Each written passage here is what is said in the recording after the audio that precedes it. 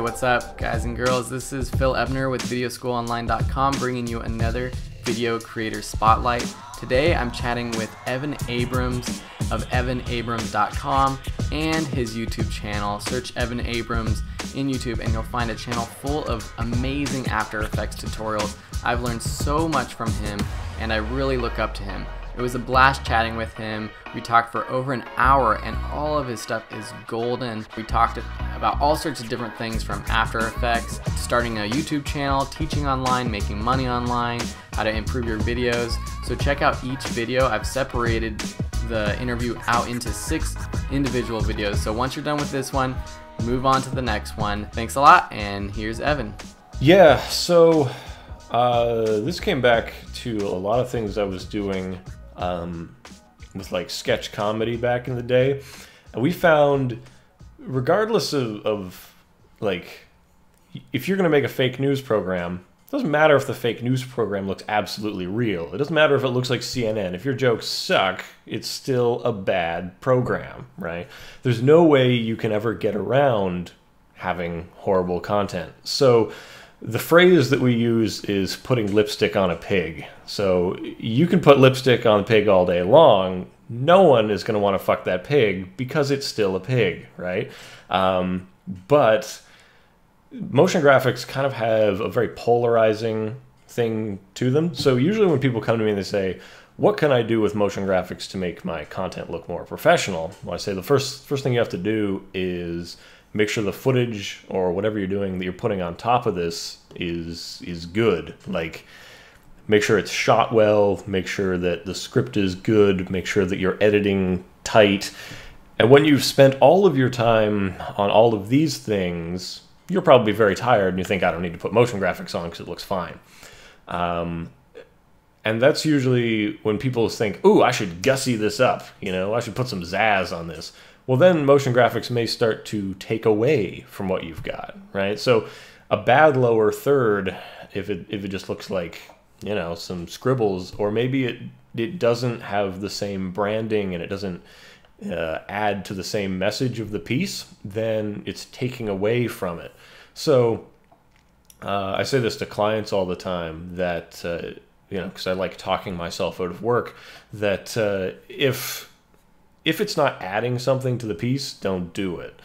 The way that motion graphics help are they increase uh, branding. So having a nice, slick five to ten second intro at the start of something, very good.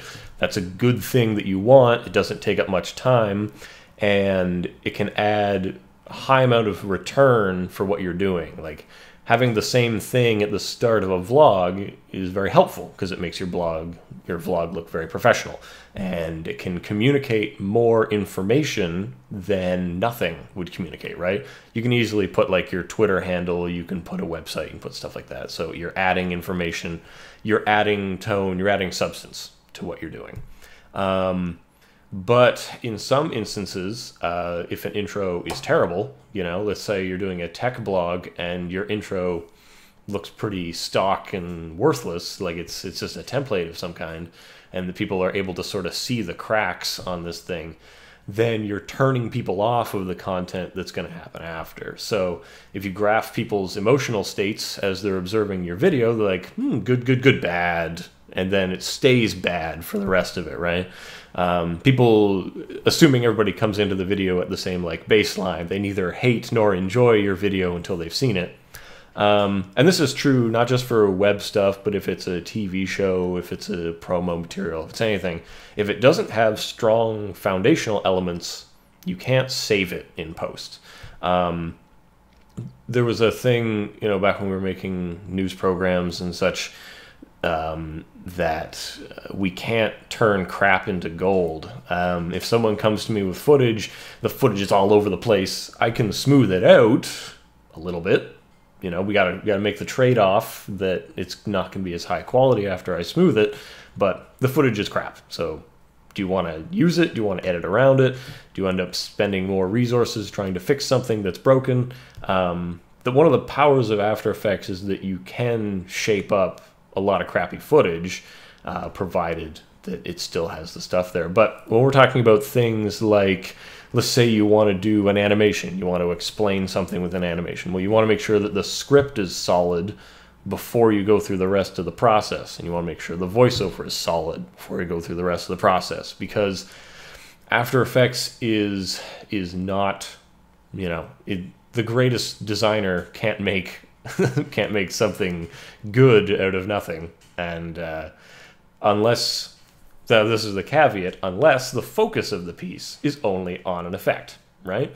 So if you look at, we talked about the earlier YouTube people, so look at Freddie Wong's earlier stuff, and you'll see that the focus of it is a crudely crafted narrative around showing off how great this effects work is, right?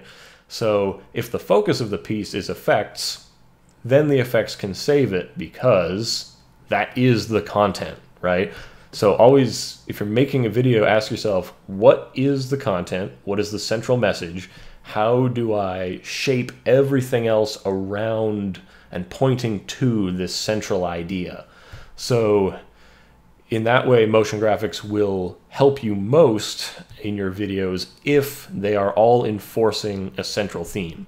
If they're not enforcing that idea, you need to not use them. So look at uh, uh, some Wes Anderson stuff, right?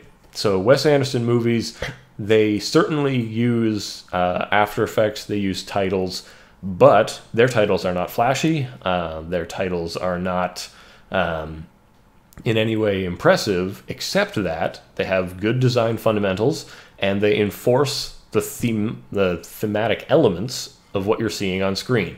So someone using After Effects, After Effects is just a tool, right? It's like a hammer or a screwdriver, just a really advanced hammer or screwdriver.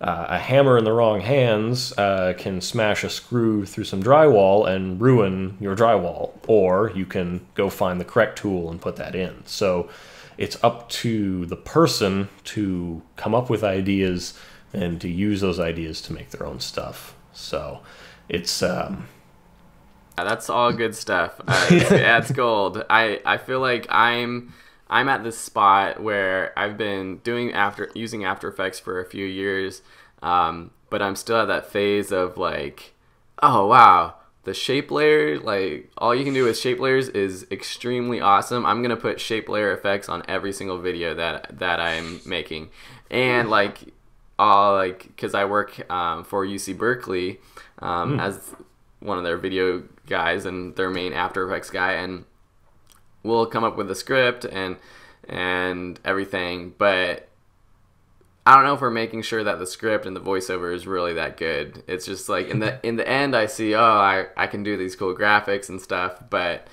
yeah, everything you said is I'm learning a lot right now. This is great. Yeah. Well, the big thing that I think everybody goes on that curve, right? No matter whether you're a whether you're a painter, whether you're a writer, everybody comes in, they shoot big, they basically throw up all over whatever they're doing. Um, and then eventually they learn restraint and refinement in the latter stages of their career. Um, when people like if you're just a couple years in, you're really you're still finding your style, you're still finding your voice to finding your voice. Whatever, fuck, I don't know. That's as hokey as that sounds. It's true though that eventually people will will settle into a pattern, or they'll simply learn to restrain themselves in the way that they're applying things. So certainly when I started out, I threw the kitchen sink at a lot of projects. So someone would come to me asking for a map to be made, I'd be like, "Oh man, have I got a map for you? Check this out. Lord of the Rings style. This shit is 3D. And they're like, yeah, that's pretty confusing for the audience, don't you think? Don't you think there's too much stuff there? Like, hmm, that's true. All right, well, rein it back. And one of the things that helps in reining things in is the idea of time. So, how much, how many hours are you going to devote to one thing, right? Um, you know, eight hours is too many hours. That's a whole day. You spent your whole day making one map. Fuck you. You need to go do some other work. You know, there's a lot of things that need to be done. But early on, we have a, a desire to create precious things. Um, and precious things that are. Rep- we want to show off how good we are at things. And Like I still have this problem that like I'm, I'm working on a client piece and I think at the end of it, ugh, I could I could do way better if just if I just did more of this stuff. But but at the end of the day, the client is happy with what it is, right? And their taste will determine what gets paid for. so um, when you are not the ultimate decider of that thing, then it helps to learn restraint and uh, gain editing. But yeah, um, what kind of things do you make for for Berkeley? Is it So I work in their communications department, and then I also work sort of for an internal educational technology department. And so I'm kind of promoting, doing a lot of promotional videos um, for just the different services that the campus provides, like webcasting or uh, online learning or the ra- radio station or whatever. So it's pretty, it's, a, it's a pretty cool, cool job. yeah? Um, so we've gone through one of our questions. Um, s- so Nailed it. Yeah. um, the next couple should be a little bit quicker, but uh, so We'll find out. yeah, we'll see.